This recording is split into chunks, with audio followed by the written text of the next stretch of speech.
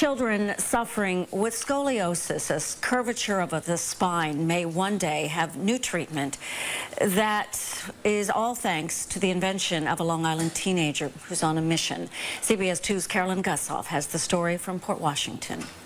Paul is small in stature, but has very big ideas. I'm happy when I'm helping people, and I'm better at helping people by being happy. At 4 foot 10, the high school senior has endured more than a dozen surgeries to treat severe curvature of the spine, a disability he was born with. I had to go to the hospital for another surgery every three to six months. But none of it stopped him from doing what many other kids do, launching a science research project.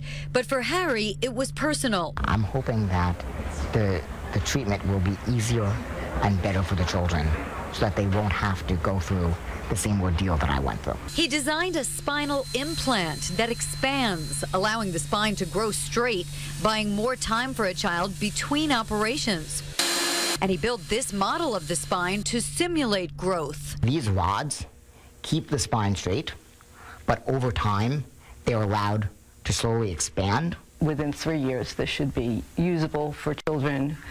Um, it's just incredible because what happens now is that you don't have to have all of these surgeries. It's a Paul D. Schreiber High School science project that earned him recognition on the world stage top honors at the Intel International Science and Engineering Fair.